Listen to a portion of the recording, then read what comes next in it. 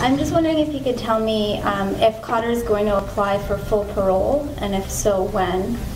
Um, and then a second question, if I may, um, what he's currently doing in prison to prove that he's not a threat to Canadians. He's not what? A threat to Canadians. Okay. Now, did you write those before you came here, those questions? I did, yes. Now, I have all respect in the world for you, and I'll answer both those questions. But normally I don't speak to somebody.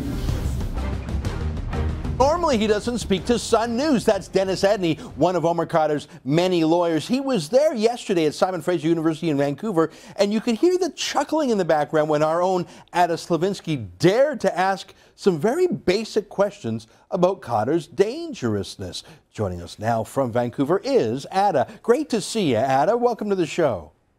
Thanks so much, Ezra. So you just went to this event, and I thought your questions were very normal you know, and and and that's what I thought. Exactly. I mean, I mean, I wasn't asking anything that would be difficult or unreasonable to answer. There are a lot of Canadians who are legitimately wondering what's going to happen if this guy gets released. Yeah, and the chuckles in the room that were laughing at you that you would dare ask, dare treat Khadr as what he is, a convicted, confessed, unrepentant Al Qaeda terrorist who to this day has not renounced the jihad. Well, they were, they were snickering and giggling at you as if loving such a Paul Bernardo character was normal. Here, can I play the next clip? This, uh, this is in answer to, to your next question. You got some great footage that I know no other TV channels will show. Here, Ada, let's roll the next clip and then we'll talk about Go ahead.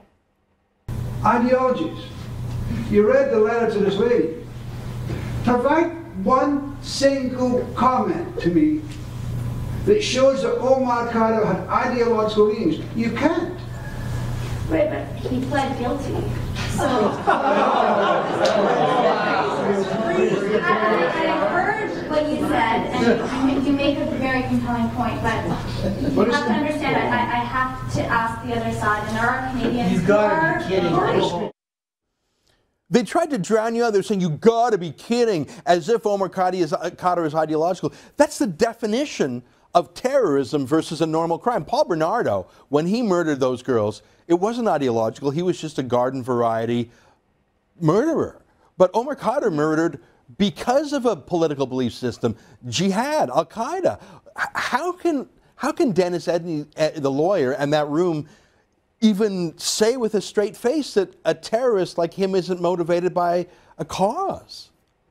And his argument to me was, oh, he wrote a really nice letter back to this lady and, and said in the letter, oh, God bless Canada and God bless you and your son.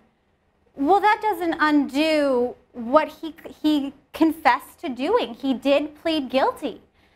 And, and the lawyer's arguments yesterday were that he doesn't actually remember what happened and he was forced to confess. And, you know, we can have that conversation.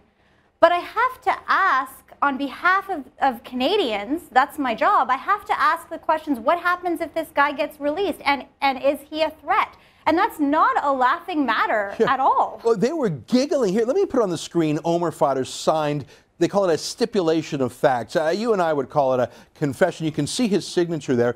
It is page after page after page of details of how he met Al Qaeda, how he joined Al Qaeda, how he was trained in poisons, trained in bomb making, spying, and, and he came to Al Qaeda through his father, who was also Al Qaeda. For, for Dennis Edney to say that this man was maybe forced into a confession, we got the videotape. Here, here, show on the screen as I'm talking the video. This is Al Qaeda home movies of Omar Khadr assembling improvised explosive devices, holding an assault rifle. Put, put the footage up there. I mean, how people can deny somehow that he's that he's a, a terrorist is just unbelievable to me.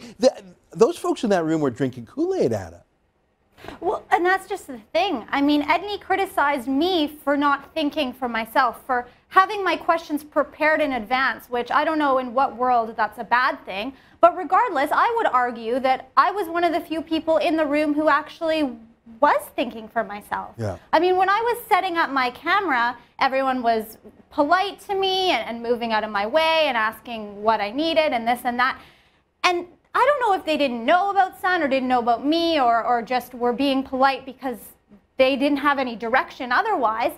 But once Edney started criticizing me personally, there it was it was like a flip of a switch their reaction totally changed and on the way out i was being shoved my camera was being purposely knocked and th th there's there's no reason for that but it, it's like they they got their marching orders and and here they go and and this guy is against sun so we're going to be against sun and we're going to be against and, and bully Sun's reporters. That's and incredible. That's something that, That no is- one should have to put up with. Absolutely. I didn't know that they were physically abusive to you, pushing you and shoving you. And I met you, of course, when you used to work here in Toronto. You're, you're not a six foot, 595 pounder. I mean, you were a, a, a slight lady and a mom, by the way. And for them to push you and jostle you is some aggressive way of saying, how dare you cha- uh, challenge our narrative. Frankly, that's assault. I think we've got one more clip. Let's show it.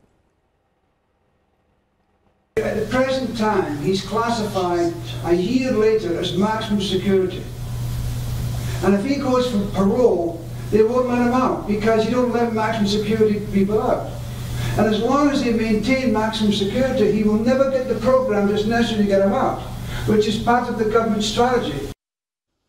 And that's sort of interesting. That's the first time I heard any indication from Khadr's lawyers that he will not be applying for parole. I, that, that's what I took that to mean. Now, that doesn't mean Khadr won't do it. I mean, Dennis Edney is one of many lawyers, and he may or may not be speaking for Khadr. But that, that sounds like a little bit of news there, that there's no, not going to be a parole application. Is that what uh, you took from it?